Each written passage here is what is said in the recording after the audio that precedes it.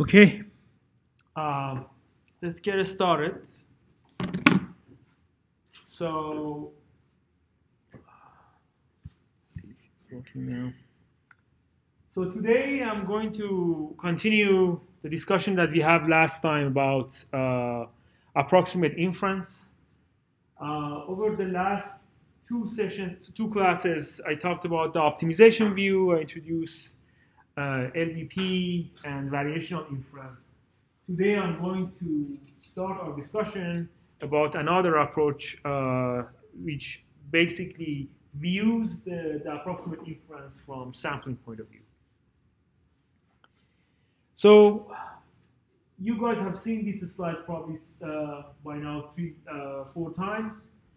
Uh, the goal of inferential problems that we solve in this class are mostly the following forms that either we want to compute some sort of a function of the random variable, latent random variable, uh, given the data, or you want to do some uh, kind of marginalization, for example, marginalizing uh, the latent random variable to see how likely the model is given uh, our data, or we want to do prediction, for example, in context of the time series, uh, for example, HMM.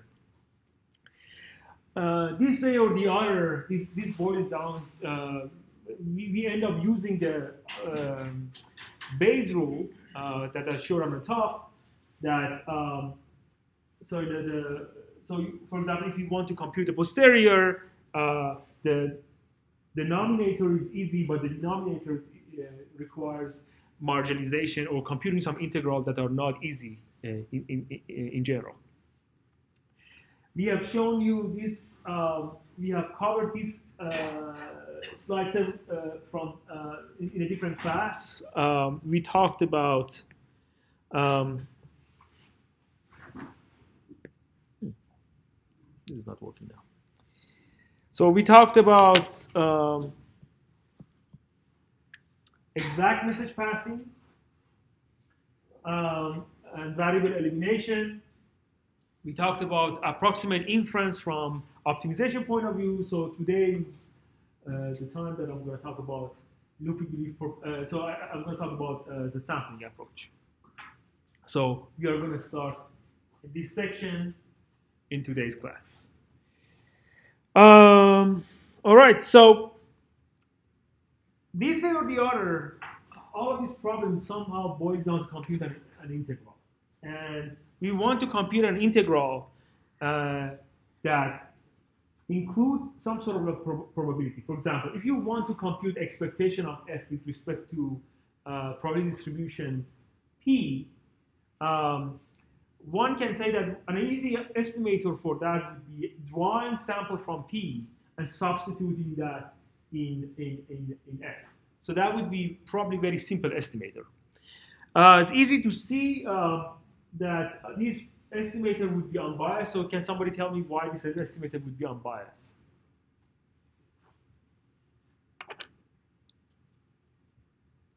So if I sample from P and substitute that in, in F an average, I can use an estimator, and I argue that this estimator is unbiased.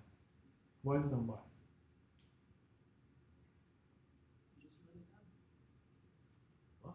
You just wrote it down. You take the expectation and take it inside the summation. No, I'm just, so I want to compute the expectation of the, the, the, the, the term on the top. I draw a sample from P, right? So now I have numbers for X, substitute in F and average, and argue that this averaging, this averaging that I'm showing right there is, a, is, is equal to the actual value. So it's like there's no bias. Why is there no bias? Well if you take expectation on top and uh, for that estimator on the right side and take the expectation inside the summation, then it would be s times of the same expectation that cancels out the s in the denominator and that leaves you Well, what is the law that like? Okay, so if you have x, your average x, that average of the x goes to the mean of that distribution. Is there any anything that tells me that it always? What is there any condition on probability? Say again. Yeah, but like, um, why there is no bias to that? So why can't you just say that um, it goes to? Fortunately, my pen doesn't work today. I don't know why. Um, what, if- what can you say that?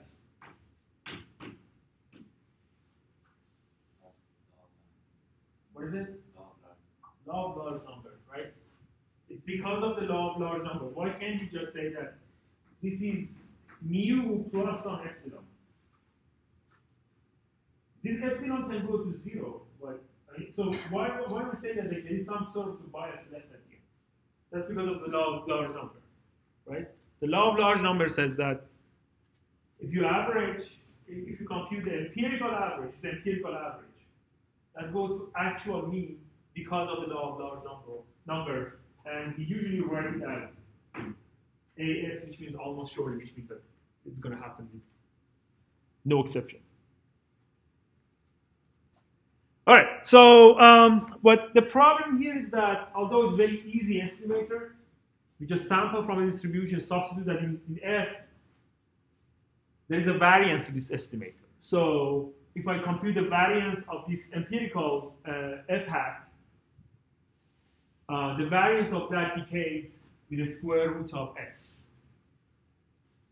So, which means that if you want to control, if you want to have an estimator that doesn't wiggle too much, you have to do, draw a lot of samples, and the behavior of that would be 1 over square root of S.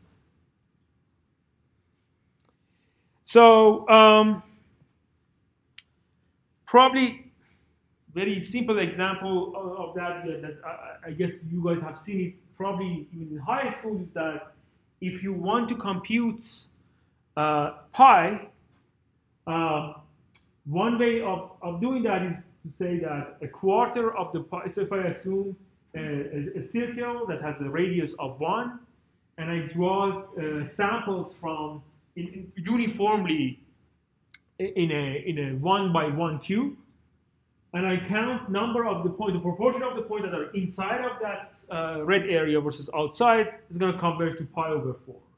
So and it, is is equivalent of computing that integral that I'm showing you, right? So this is very simple Monte Carlo examples of computing uh, quantities that might not be easy. And it's very easy to estimate. So you just sample from, uh, draw samples from uniform distribution, apply an if this is inside of the red area or outside of red area, you compute that integral. So this is the idea of uh, the, the, the, core idea of the Monte Carlo approximation. So you're going, we are going to see more examples of that in the following. But, um, well, there is this famous quote that Monte Carlo is an extremely bad method and it should be only used uh, if there is no alternative. So if you have a way to compute an expectation in closed form, you should go for that because it's basically uh, the, at least the vanilla version of the Monte Carlo method as a high variance, and that's not what you want. Nevertheless, it's very easy to implement, and we saw that uh, an example of that, and it's partially uh, it's part of the appeal of the Monte Carlo method that they are easy to implement. So this, this is why we are still using them. So um, let's start with uh, drawing uh, a sample from one-dimensional distribution. So if I give you a sample from arbitrary one-dimensional distributions, for example, the, the one that I'm showing with red, um, what would be the idea of drawing sample from? So you don't know, so I just gave you a function, py, and I'm saying that this is normalized. So how do you draw a sample from? Showing that there, but any idea? So why, why is it why is it correct? So Yes. You can kind of sample along the um, vertical axis. Yes. You know that's going to be between zero and one, and you can sort of project is the wrong word, but Yeah, that's, that's, that's fine. into the uh, original space. That's correct. So basically, you are saying that if you give me PDF of the distribution, I can compute the CDF, which is uniform uh, non-decreasing function that here I'm showing with h. And this h is between 0 and 1. So the h base h of y is basically probability distribution of the, the sample that I've drawn is less than y, right? Okay, now this is a CDF, and we know it's between 0 and 1. It's just enough to draw a uniform distribution. We know, let's say I told you I have a machinery that knows how to draw a sample from uniform distribution between 0 and 1. All you need to do is that substitute that in, compute the inverse of that y, and get the distribution. The, the, the, the draw from that is, is, is, distribution from y. This is very easy uh, way of drawing samples from uniform distribution. And the reason is that, you know, y can be, can have any range. It can minus infinity to plus infinity and uh, uh, while it might be difficult to come up with very explicit way of sampling from py, but this is an explicit as long as you find a way to inverse hy, which is your CDF, you're fine. And even if you cannot, well, if you can, if I cannot uh, find a closed form for hy, can you give me an idea how I can do it approximately? I give you py, right? And py is the density. And I want to draw a sample from it, and I, just don't know how to compute hy in the closed form. Can you give me an approximation, a, a way that I can do it approximately? Sample any point from that rectangle rectangle. Oh, the that this area, yeah. The point if it is, if it is smaller than py. Smaller than py. Um, you are probably referring to rejection sampling, so I'm going to talk about that. But let's say that I don't have a way to compute hy in a closed form. Can I approximate hy? What's the way to approximate hy? Huh? Well, yes, numerical integration, but I, I already told you that it's going to be increasing function, right? It's going to be, it never goes down. So one way of doing that is to bin this py, right? So which is some way numerical integration, and then build this as a linear function, right? So because this is going to be function that looks like this, right? So I can I can bin this into a linear approximation, and the, the, it, it always have a linear uh, direction. So it always has a positive slope. It never have a negative slope. All I need to do is to into build it into different bins and compute the slope. That's all. And I have my approximate hy, and I can invert it. Make sense? Okay. So this would be a very simple way to draw sample from one-dimensional distribution. But um, things are not always that easy because in many cases, um, we may not even have a py as a normalized distribution. In many cases, we have py which is unnormalized. So we may have it up to a normalization that here I'm representing as py. So what are the examples of the, of the distribution that we have access to it up to a normalization? We have seen it, right? We have seen it in uh, variational inference. So what are, so give me an example. If I want to compute the posterior, can I have a posterior up to normalization? Yes. So how can I do that? Is always proportional to the, the denominator, right? And computing the denominator in, uh, in posterior estimation is easy, right? The denominator is my likelihood, which is coming from my model, multiplied by my prior. The difficulty that I have is computing the denominator. That's the difficult part. But always, most of the time, I can have the, the posterior up to normalization right? Okay. So now somebody told me that, well, that's all you got. You cannot have uh, py. So because uh, you cannot have, you can have it up to normalization. Now you have to draw a sample from it It's one dimension. Because I don't have the normalizer, I cannot compute the CDF. So the previous trick that I told you is not going to work here. So one idea to do that is to come up with another distribution that here I'm calling that QX. That QX is easy to draw sample from. So it's, it's a proper distribution. I know how to draw sample from it. And I say that, okay, so I have this P tilde, which is my Px up to normalization. And I'm going to come up with a K, is a constant fun, is a constant number that if I divide P tilde with K, uh, Q, is going to be less than 1. So it's basically I'm going to multiply Q as, uh, uh, and make sure that it includes P, uh, P, uh, uh, P tilde. Does that make sense? So, and I want to make sure that the ratio of the P tilde and KQX is less than 1. So it's always bigger than that. So I want to make sure that the P tilde is always less than KQX. Now I'm going to come up with this trick. The trick is that I'm going to draw a sample from Q, because I know how to draw sample. I chose a distribution that's easy. So I'm going to draw a sample from, uh, from Q and introduce an auxiliary variable, I'll call it Y. So I'm going to plug the variable that I, so I draw a sample from Q, plug that into, into this equation, and reject it with this chance. Remember, this is less than 1. So this is correct, right? Uh, it's a probability, right? It's a chance of accepting that distribution. And I argue that the accepted samples are coming from actual P. This is the idea of the rejection sample. So the rejection sampling says that, well, I don't know how to draw a sample from P. I'm going to come up with another distribution which is easy. And I'm going to multiply the PDF of that so that it includes P tilde. And then I'm going to introduce auxiliary variable. So this auxiliary variable is acceptance, rejection right? And then I argue that the samples that I accepted are actually coming from Px. So if I want to prove this, what should I prove? So I am claiming that if I follow this strategy, the accepted samples are coming from Px, the normalized version. If I want to prove this claim, what should I compute? What should I compute? Is the setup clear? Or no? That something to do with Yeah, go ahead. Yeah, doesn't matter.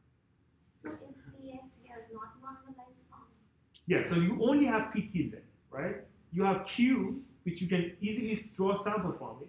You don't have P, you only have P tilde. You have up to normalization, and you're saying that I'm going to come up with another Q, which is easy.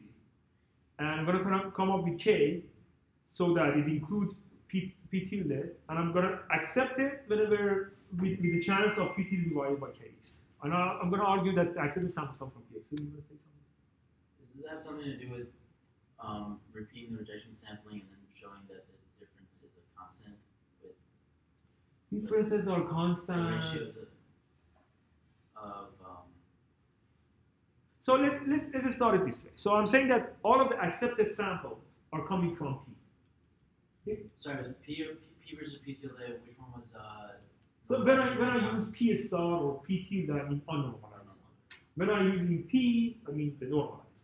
So if I want to say that all of that, so my, my claim is that all of the accepted samples are coming from the PX. What should I prove? All of the accepted samples. All of the accepted samples has y equal to what? 1. So the distribution of the accepted samples are what? Yes. So if I prove that P of x condition y uh, equal to 1 is P, is the, the normalized version, I'm done. Right? How can I prove it?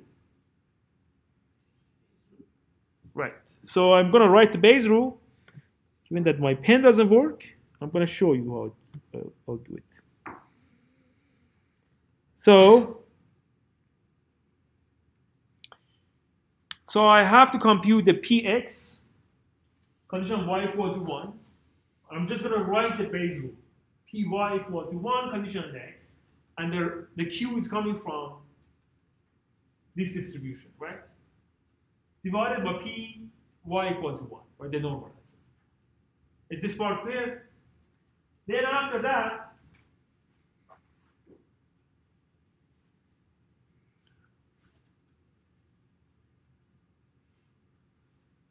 so remember what this was, right?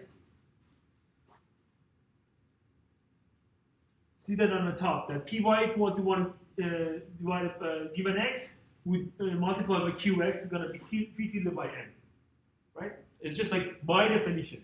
This is how I define it. I just multiply this by qx, I just substitute that in, right? Now, for py, to compute this, I have to integrate x out. To integrate x out, I just substitute the same term and cancels out. And then I'm going to get pt divided by m and integration of pn. But we know that p tilde integrated over all whole domain is the normalizer, right? So these two cancels out, I'm going to get px. So m was my k in previous slide, that the, the big values that I made sure that uh, the blows up q, yes. But uh, you're assuming that that's like the minimal, m is the minimal scaling factor to. Uh, so, so for now, but that's a good point. So I, for now, I'm not assuming that. I'm saying that just come up with one n, so that m is big enough that if you multiply by qx, p tilde divided by nq can be less than one. It's not the optimal n, but I'm going to get back to that. And so, even if it, it doesn't have to be optimal, you can still make that assumption that the Yeah, exactly. be- Yeah, As long as less than one, it, I just want to make sure it's probability because I want to define this condition that py condition on x it should be less because it's, it's a binary, it should be a probability, right? Should be less than one. If it is bigger than one, I can't do that, right? It's not valid. But that's a good point. Yes. So why we make Q, uh, the probability of x equal Why we take qx? QX. Is your proposal distribution.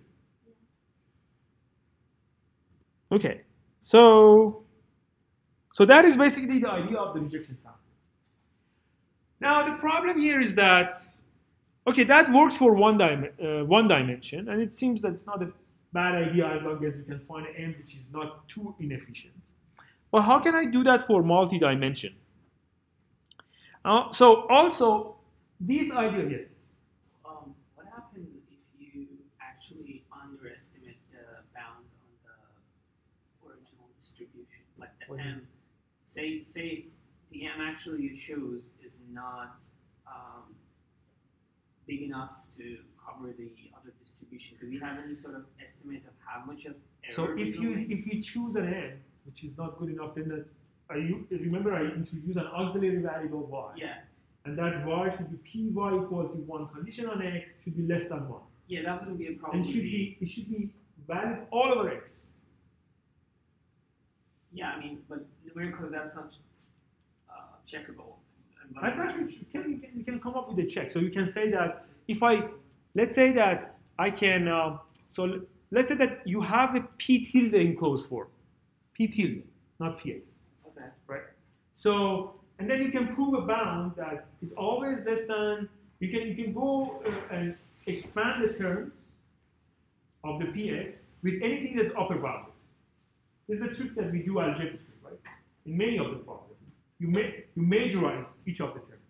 You open up the, the terms of px and say that for each term, I'm going to find the one that is bigger than that. And then find a distribution that looks like that. So if I say if I, my qx is I the only things I know to draw a sample from is Gaussian. Let's say that's that's the only things I know to draw a sample. Then my the terms that I have access to are x and x squared. I don't have access to anything else, right? So it means that I have to upper bound each of the terms with either x or x squared. Make sense? But if you your arsenal is bigger, you know how to draw sample from better like fancy distribution, we can say that okay, for each of the terms I can come up with something. Overall, this method does not work for uh, uh, high dimension. So here an example. So let's say, well, of course, we know how to draw sample from a normal distribution with identity uh, as a covariance, but it's just a, as, a, as a toy example. So let's say that my proposal distribution is, is, a, is, a, uh, is another diagonal distribution with the variance sigma. Um, again, because p is diagonal, it's factorizable to each of these terms, and q is also factorizable to each of these terms, right? It's diagonal, right? Now, one way to do that is, the, is to say that what p is diagonalized, q is diagonalized, I'm going to pretend that it's one dimensional in each dimension, and we're going to draw a sample from it. It's fair to say, right? Because they're independent from each other. So here is an example that things can go bad. So the acceptance rate of this is going to be, remember the acceptance rate would be y equal to one condition on x. And because, because it's factorizable, it's going to be factorizing into multiplication of the d distribution. d is the dimensionality of x, right? Now, remember I told you that this term is less than 1. And we are multiplying d of these together. So it's some value less than 1 that multiply d times together is going to decay with the dimensionality and has a terrible acceptance rate. So it decays exponentially. So it just shows that this idea is not going to fly in high dimension because you have very low chance of accepting the rate even for a small num number of dimensionals. Is this clear? Another idea is um, to, to view it slightly differently. So one way to, to say that is, uh, well, most of these cases, I want to compute some sort of like expectation. Let's say I want to compute an expectation of f with respect to, uh, to, to px. But I don't know how to draw a sample from px. I, because I only have px up to a normalizer, so I don't know how to draw a sample from it. What if, if I you know, massage this equation. So I'm going to uh, multiply it by qx and divide it by qx. And qx is a distribution that is easy for me. I know, I know how to draw a sample from. What is interesting about that is that by multiplying, dividing by that, I can write the equation as expectation with respect to qx, that I know how to draw sample from it. Is the trick clear? I come up with another distribution that is easy for me. I know how to draw sample from it and divided and multiplied by, by q. Now I wrote my original expectation to another form of expectation, but this time I'm drawing sample from q, which I, it's easy for me. Now, so I told you that one of the ways that uh, one of the ways of doing uh, this uh, uh estimation is to view it as a Monte Carlo. So I'm going to uh, write as an empirical estimator that I'm going to draw samples from Qx and substitute that in the remaining term. So the remaining term is not f, but is f multiplied by px, pxs divided by pxs. Is this clear? Now, so the, the general idea that we did was that px was hard for us. We come up with another proposal distribution. It's easy to sample from it and multiply and fix this effect by basically dividing, coming up with a weight. That this weight is proportion of px by qx. Um, but still we need to have px divided by, by qx because I told you I don't have the px. I have, I have a px up to a normalization. So what, how can I approach this problem?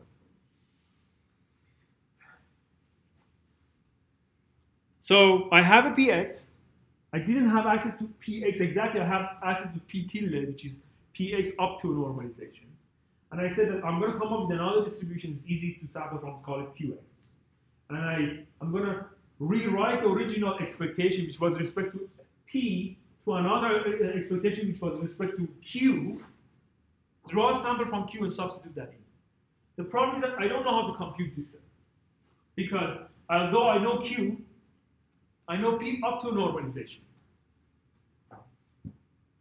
So what's the right way to do that? Any idea?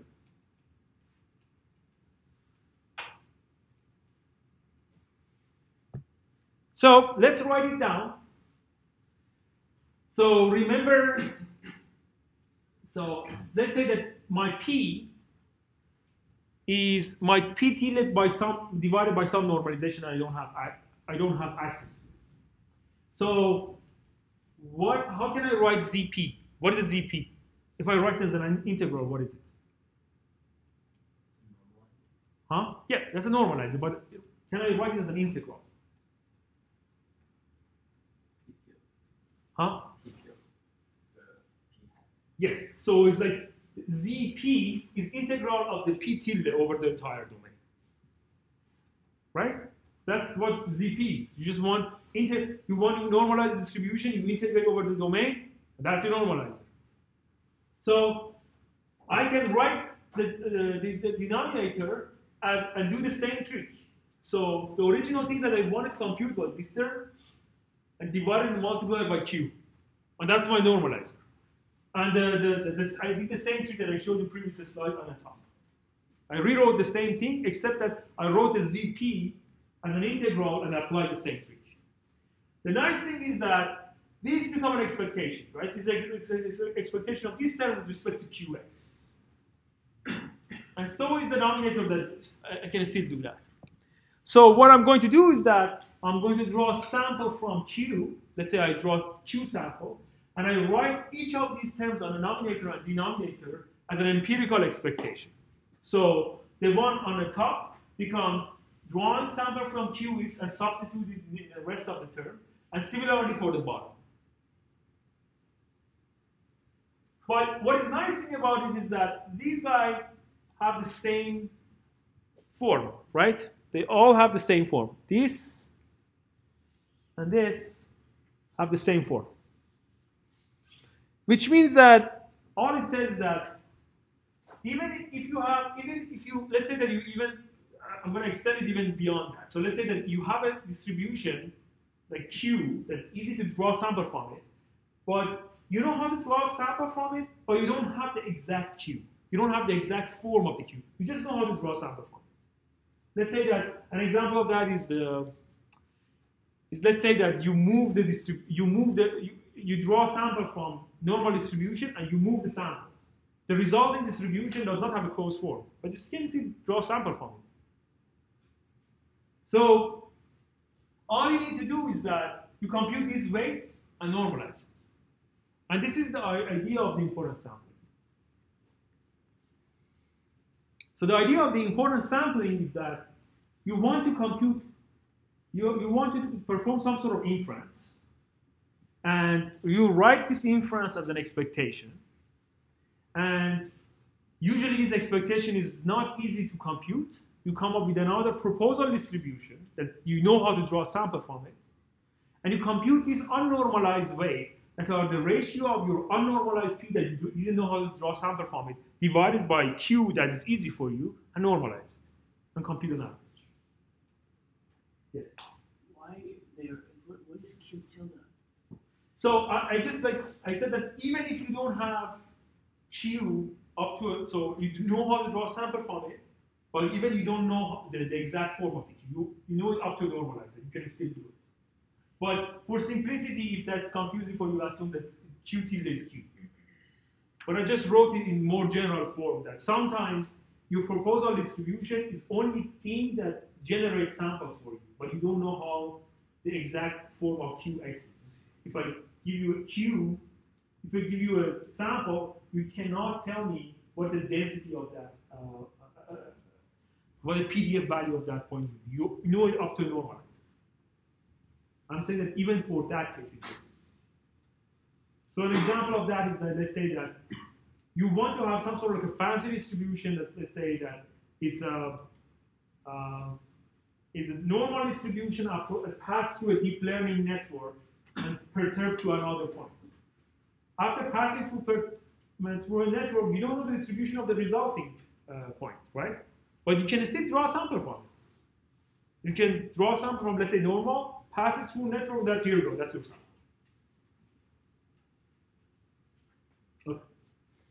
Um, so that's the idea of this. Is, is the idea of importance sampling clear?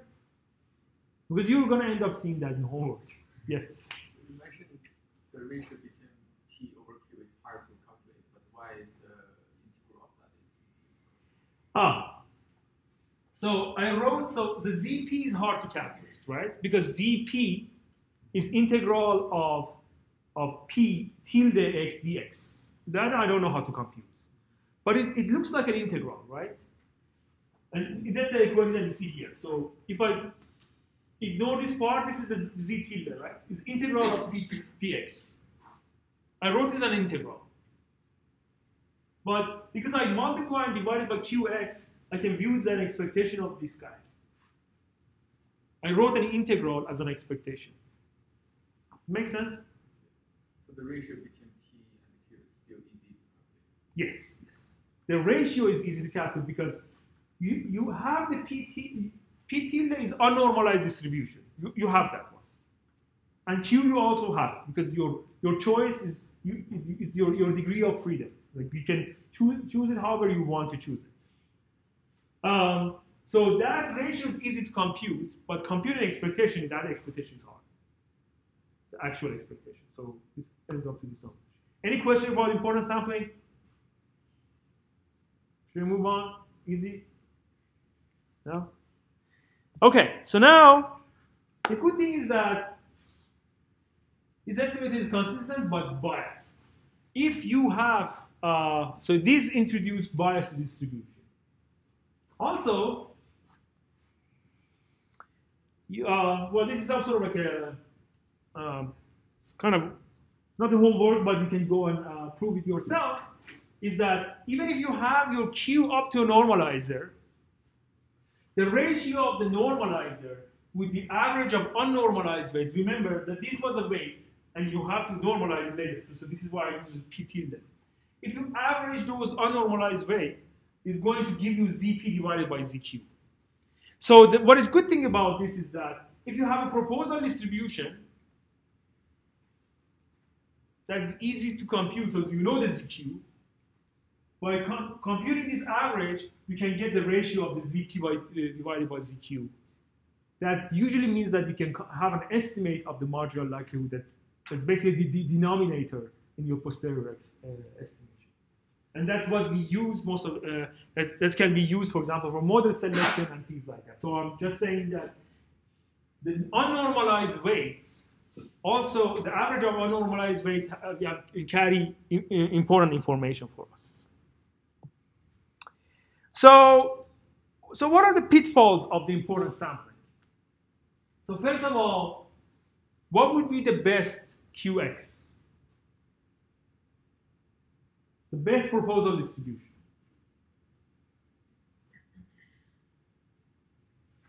You want to draw, you wanted to compute an expectation with respect to P to compute an average of, compute expectation of Fx. If I give you a P, that would be the perfect one, right? It would be the best match. There's no, uh, that's, that's the obvious best match. Um, but of course, if we, we had P, we didn't need to do any uh, proposal distribution and all that is, is ridiculous choice. Um, but nevertheless, it's a, it's a good idea to use this as to analyze how the behavior of this proposal distribution would be and how it would behave in a high dimension. So if you want to, um, this pen would have started working. Okay, so so let's study the behavior of that. So let's say that I want to um,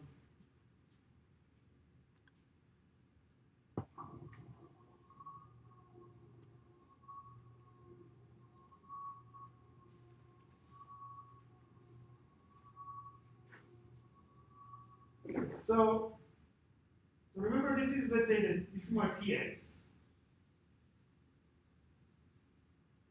My px. And this is my proposal distribution.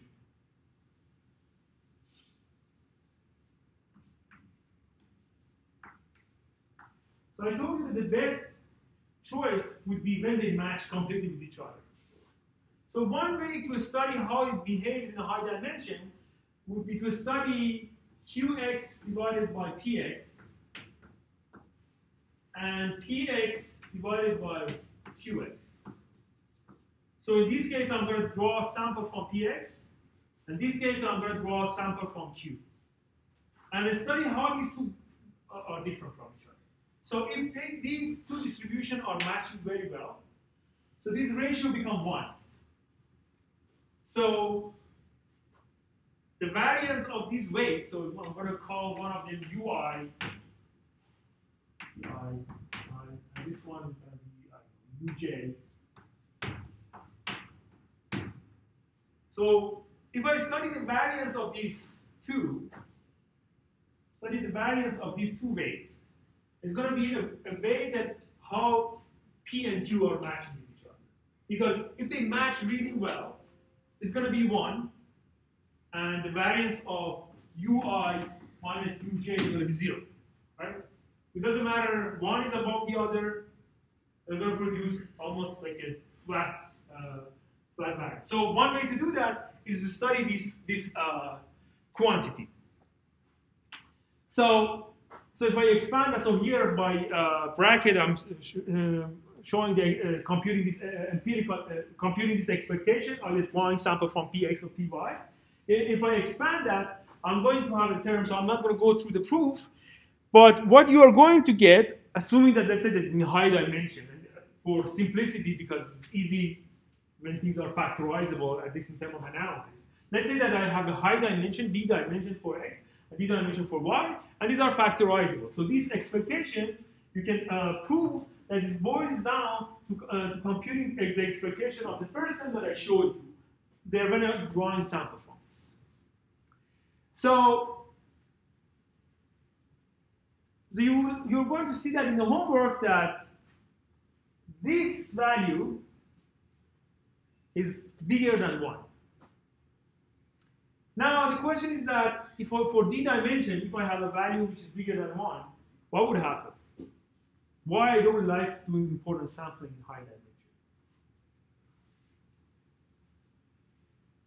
I don't understand why you don't take the variance of u and rather than that define this measure. Like, what is this measure? So, remember I told you that the best choice between P and Q is that when they match. If you only focus on U but not on Q, I can make the Q much bigger than than, than, Q and dominate it, right? Depends which one you choose. Let's say that you, I think if you choose this one, I can make this Q so big that dominates this term. Going to dominate this term. There's no variance. If you choose the other one, I'm going to choose the P so that it's too, too big. So you don't want your P to overestimate or underestimate your uh, the other one. You want them to match. So you, this is why you say that UI minus UJ. Because say that whenever P is going to dominate Q and whenever Q is going to dominate P. This is why you are saying that if they are matching very well, if let's say they're completely following each, each other, this, it should be like one all over the place. And computing the variance of that would be, you know, zero. Uh, uh, there's no variance. There's always one. Make sense? You want to make sure they're matching, right? Sometimes Q dominates Q, sometimes Q dominates Y. By studying these two, I'm make, make, making that symmetric. Okay. So, but what, is, what would be the problem if this value is bigger than 1 for in high dimension? The variance of this would be what? Is the value slightly even slightly bigger than 1, you and the d dimensionality, this is going to be a very big number. And it's going to exponentially become big number, right? Because it's exponential to the d. So this is the reason that in high dimension, we don't use this because here I'm just showing you that this value is going to explode. The variance of the weight is going to explode. So, um, so here is an example. So I'm going to show you, I'm going to um, give you the,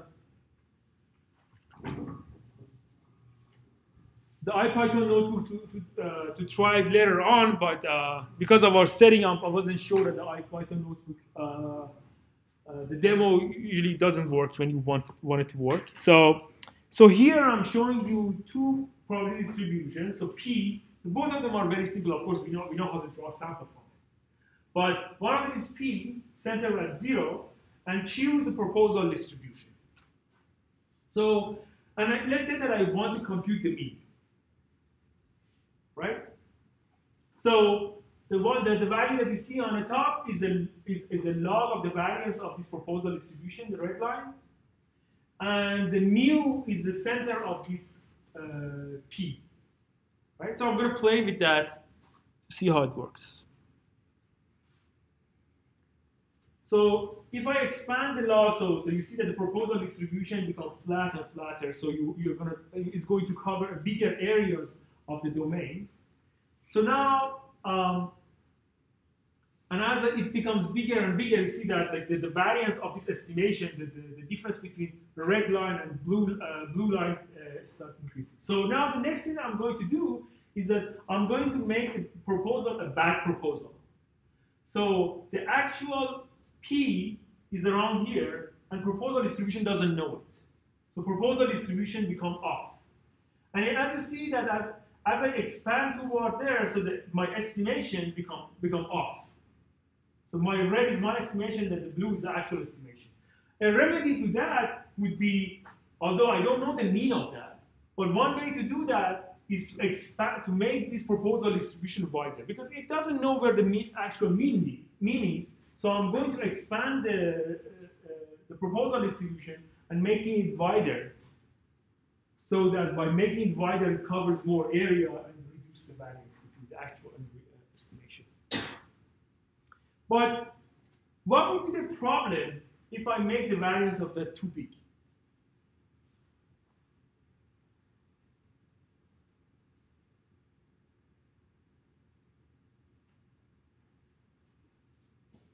Maybe I'll, I'll release this and you, you, you play with this and uh, you realize. But hopefully you, you saw the balance between these two that if you have a proposal distribution which is off, it depends how wide that is having off distribution can result in bad estimation. So this is why to, uh, this is why to avoid that, we usually use a wider proposal distribution. But um, one intuition for that would be, let's say that I have a if I have a proposal distribution which is off.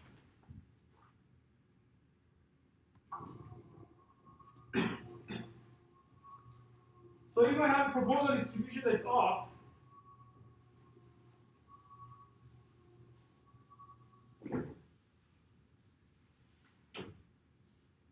So let's say that this is my actual P.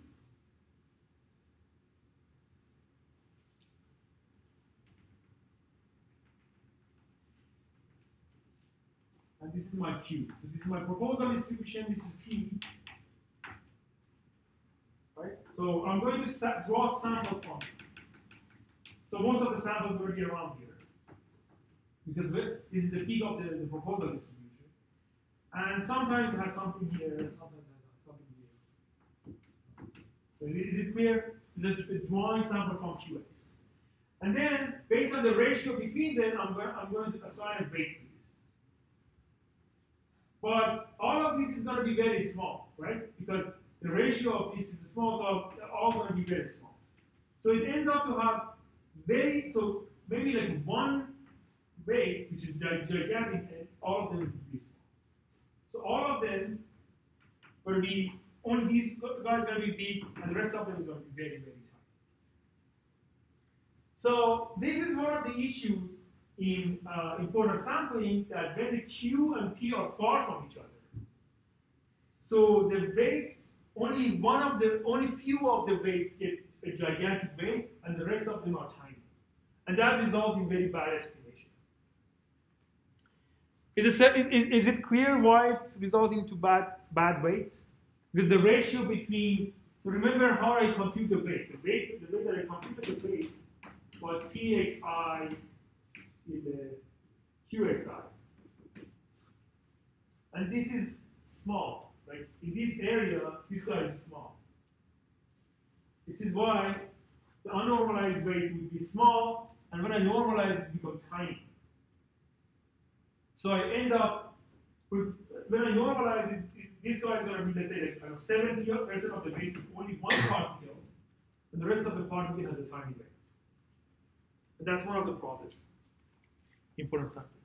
Is it clear? So one remedy to that is uh, so-called resampling. So the idea of the resampling is that if the P and Q were very similar to each other, let's say the P and Px and Qx were almost identical, the weight would have been what?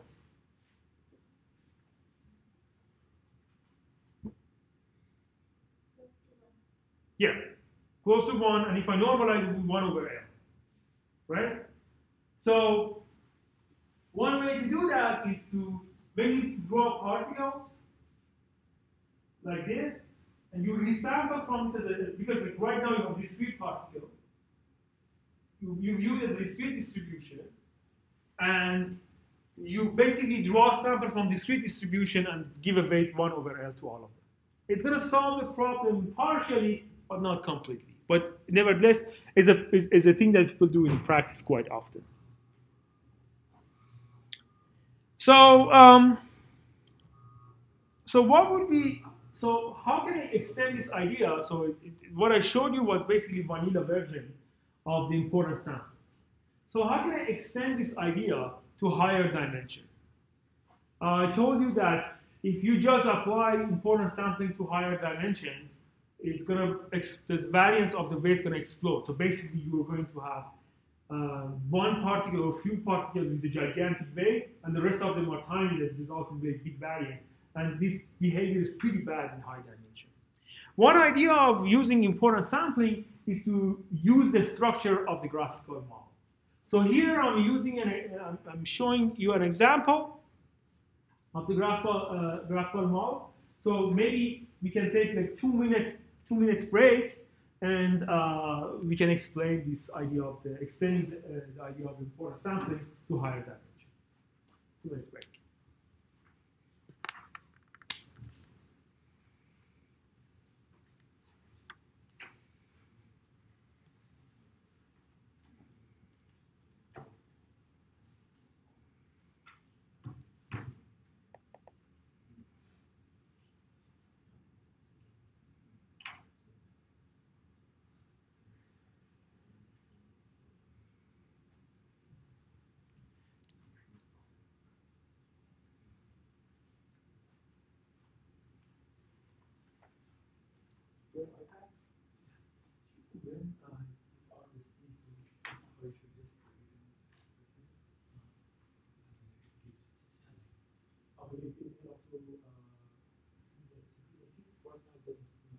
Oh, okay, so I, I can charge it for you.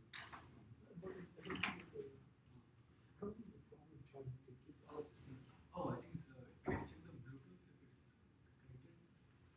Because you don't see it, right? Oh, I think it's the charger. Can you connect it and see? Can you just plug it in like this? And, yeah. That-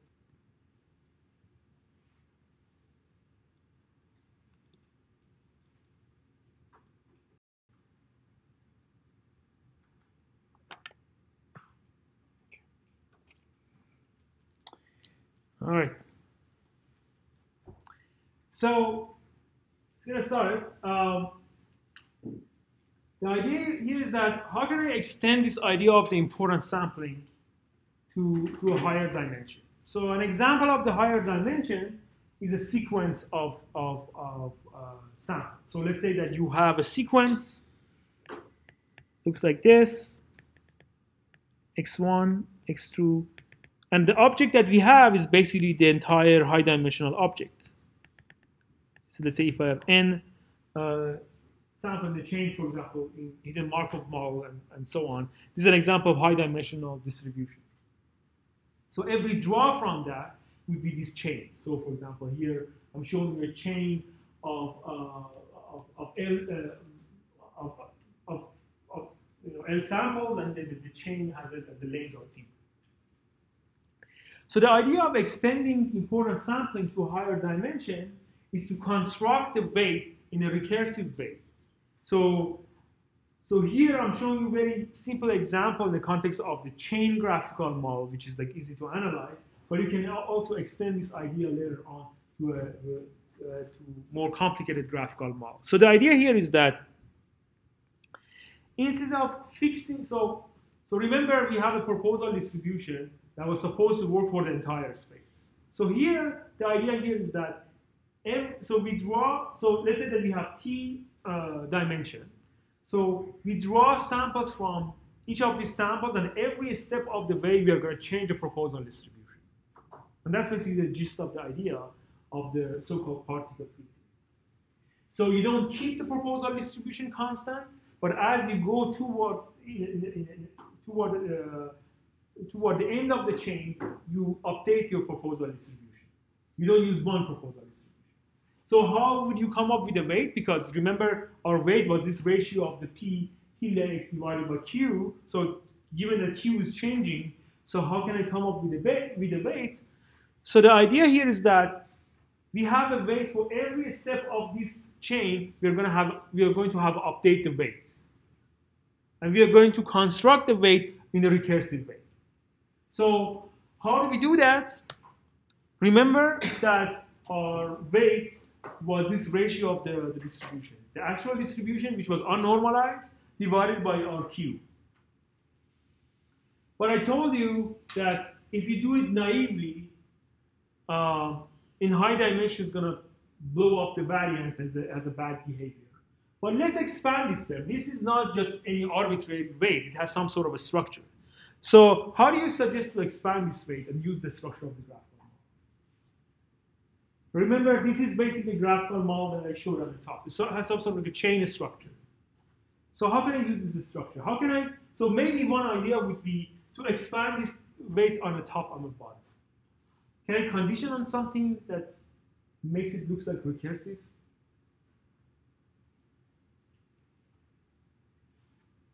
Remember the graphical model looks like this. So it has some sort of recursive structure. on the previous one. Yeah, so let's let's condition on previous one.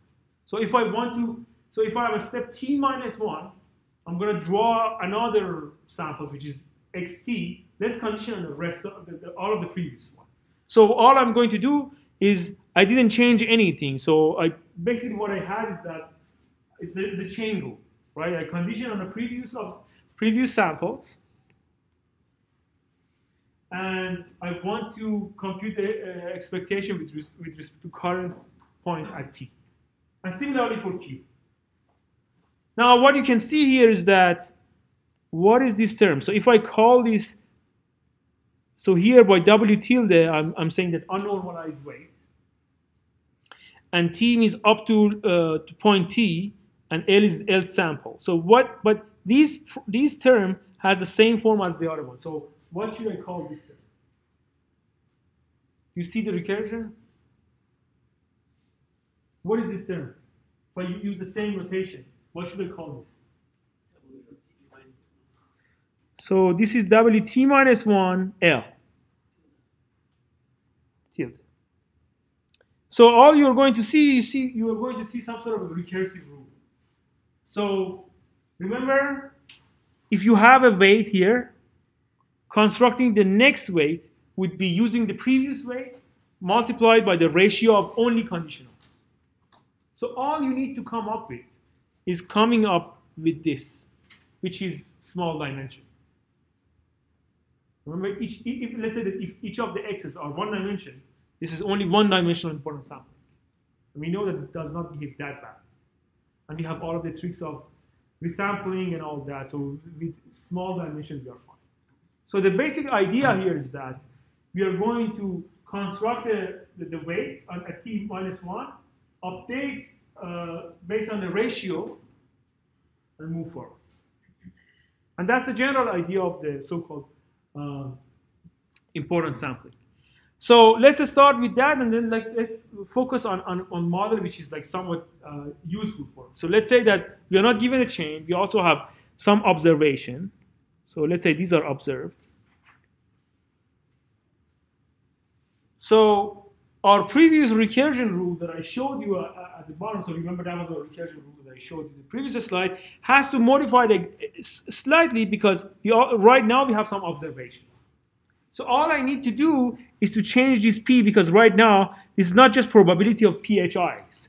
It's also probability of phi and the effect of that on observation. So all I need to do is, you know, change this to account for the observation.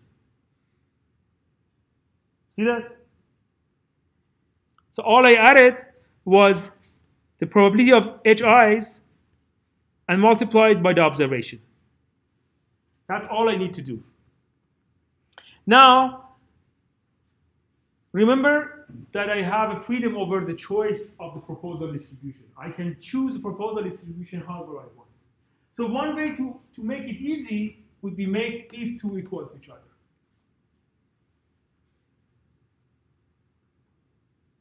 I have freedom to choose it, right? So I'm going to set them equal to each other so that they cancel out.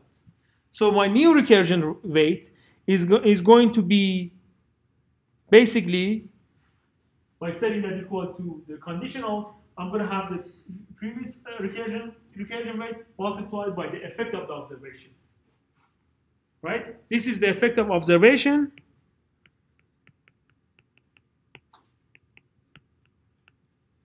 which updates the weight recursively. So, so now let's say that, remember, so uh, you guys probably remember uh, the idea of the forward and backward pass in hidden Markov model. So we had the forward message that goes from, from one end of the, of the chain and another message that uh, goes from the other end.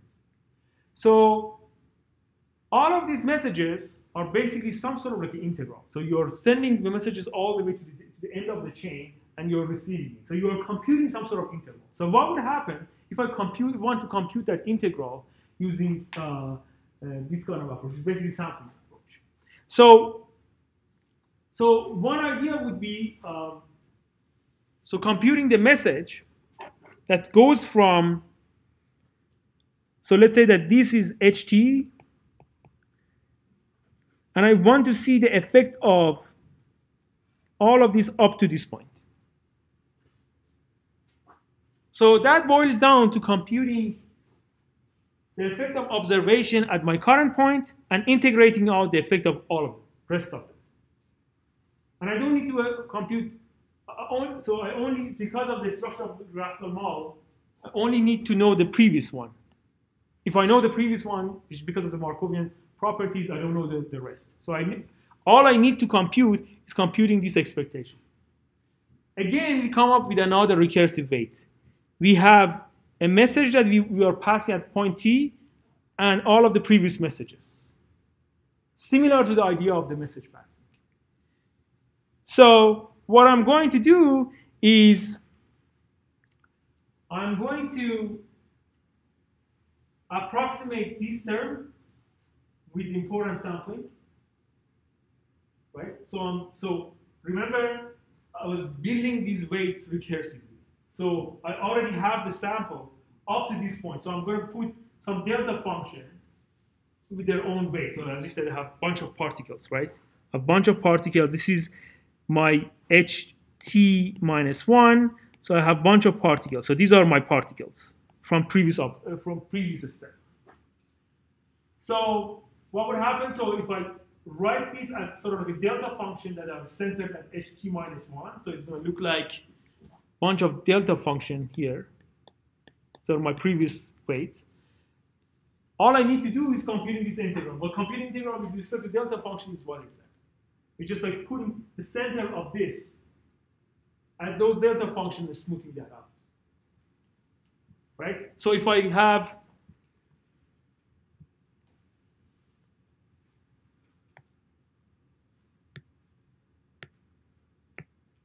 So if I want to compute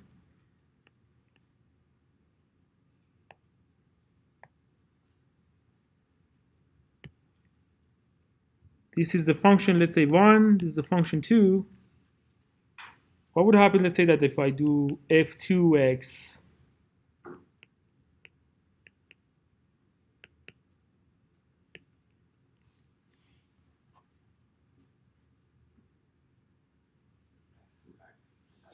Exactly.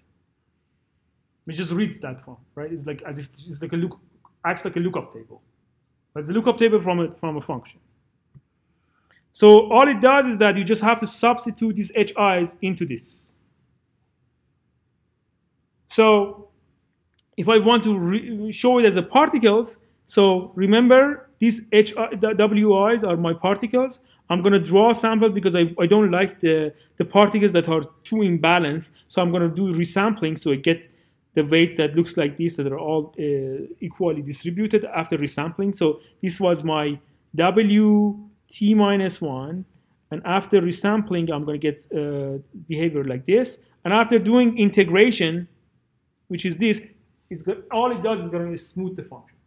So as if I put bunch of, so I assume that Vx, ht are just sort of like a smooth function. I just put them on the top of this uh, function. And, and all I'm going to do, I'm, all I'm going to get after that is a smoothed version of this particle filters. And I'm going to do resampling.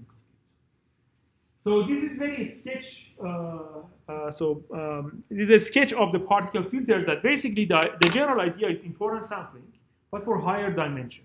So the idea is that importance sampling is hard for higher dimension, but you want to use the structure of the graphical model. So all you do is this. So you instead of building the, the, the weight in one pass, you gradually build the weights.